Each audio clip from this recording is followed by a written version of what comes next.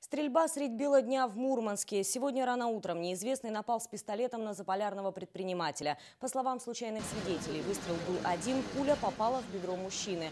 На место происшествия сразу же были стянуты все экстренные службы. Как удалось выяснить оперативникам, стрелявший скрылся во дворах на улице Шабалина.